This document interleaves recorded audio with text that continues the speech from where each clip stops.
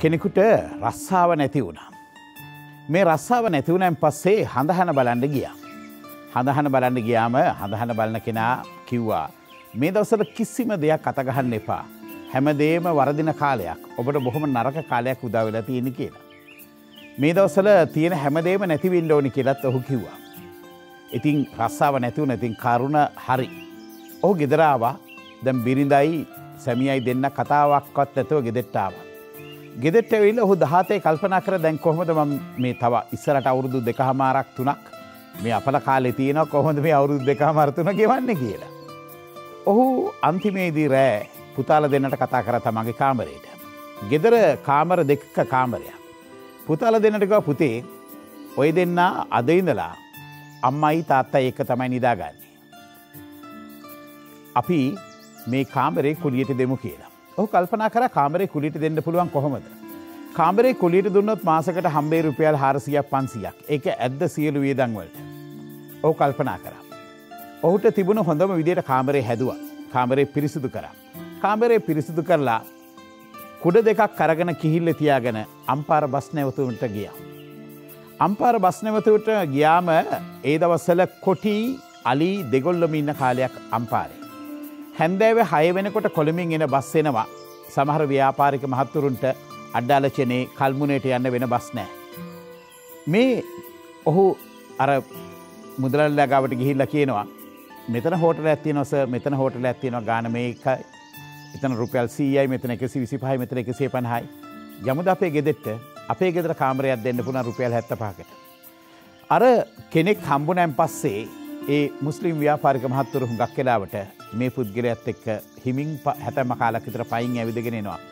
තමන්ගේ ගෙදෙට්ට. ගෙදෙට්ට ඇවිල්ලා ඒ ගෙදර කාමරේ දෙනවා.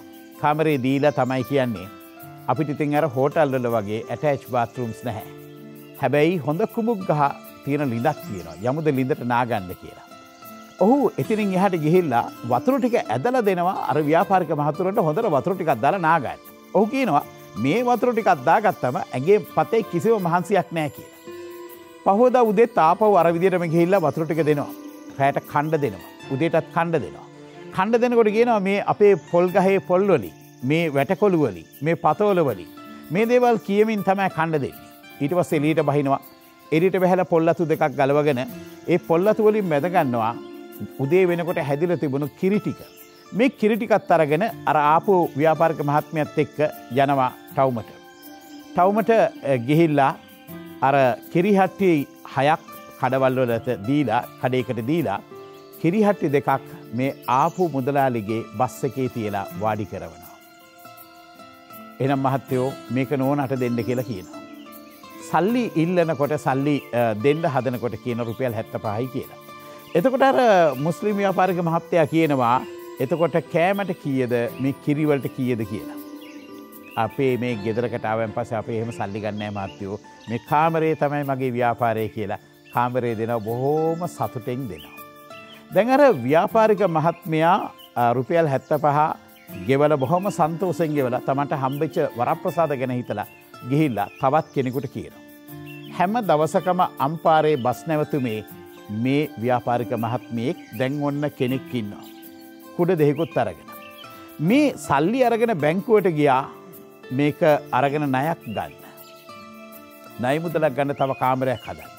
ඒවෙලේ බැංකුවලින් ප්‍රතික්ෂේප කර නයක් දෙන්න හේතුව මේ ඉන්න තැනට ඉඩමක්ට මේක අනවසර පදිංචියට තිබුණු ඉඩමක් නිසා.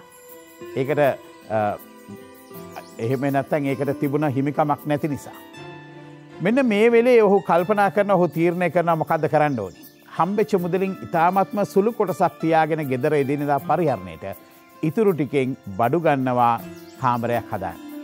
අත්පිට මුදලට හම්බෙන මුදලින් හැම දවසකම යොදවලා කාමරයක් හැදවා. ඔහුට සුමාන දෙකක් යැනවට කාමරේ යම්මටමකට ගන්න පුළුවන් කමක් හම්බුණ. තුන්ගනි සුමානයේදී මේ කාමරේට දැන් දෙන්නෙක් කෙනව නවතින්න. මෙහෙම පටන්ගත්ත හෝටලේ එක කාමරේ එක කාමරේ මං ඉස්සල්ලාම මේ හෝටලේට යනවට තිබුණේ කාමර හතරයි.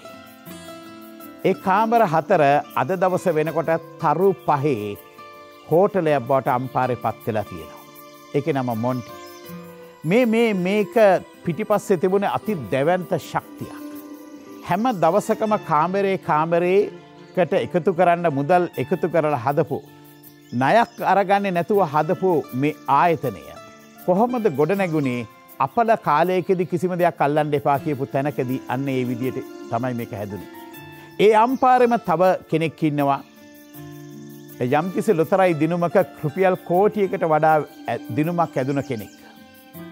එයා වාහන දෙකක් ගන්නවා ඉතුරු සේරම බස් ගන්න. හැබැයි තුන්ගෙන මාසිදල බස් එක බස් එක විකුණනවා. බස් එක බස් එක විකුණලා අවුරුදු එක හමාරක් අස්සේ අර රුපියල් කෝටියේ මුදලම නැතිකරගෙන කිසිම වාහනයක් නැතුව නැවතත් කැන්ටිමක් අරගෙන කැන්ටිමක් කරගෙන හිටිය. ඔහුගෙන් ඇහුවම් පස ජාතික පුවත් පතක් කියල සමුක පරීක්ෂණයක් කරලා. ඔබට මෙච්චර දෙයක් වුණා ඔබ අනිත් මිනිසුන්ට දෙන පාඩම මොකක්ද. ඔබට වෙච්ච දේ පිළිබඳ ඔබ දෙන පාඩම මොකක්ද කියලා ඇහුවම ඔහුකිව එකම එක දෙයයි රුපියල් දහයකින් ඔච්චර දෙයක් කරා මදය කියලා. එකම නගරේ මේ පුද්ගලයෝ දෙන්නා සිදුවීම් දෙක භාරගත්තේ දෙවිදියකට. වාසනාව කියලා කියන්නේ උත්සාහයයි සූදානමයි දෙක එකට හමුවෙන තැනට. ඔබ උත්සාහ කරන්නේ නැත්නම් ඔබේ සඳහා සූදානම් වෙලා හිටියේ නැත්නම් වාසනාවට කරන්න පුළුවන් කිසිම දෙයක් නැහැ. හැබැයි වාසනාව ඔබ කරා එන්නේ ඔබ ඒ සඳහා උත්සාහ කරන ප්‍රමාණට අනුව. අද මේ ලස්සන උදෑසන ඔබ හිතුවොත් ඔබට පුළුවන් කියලා ඔබ විශ්වාස කරත් ඔබට පුළුවන් කියලා ඔබට පුළුවන්. මේ රටේ මේ අපේ මාතෘ භූමියේ ඕනත් තරං මේ වගේ කතන්දර තියෙන. මෙවා හුදු කතන්දර නෙමේ මෙවා සත්‍ය කතා ඔබ ජීවිතයේ දිනන කතා දිනන්න ඔබට අවශ්‍ය මේ ඇස් දෙ කැරීම විතරයි.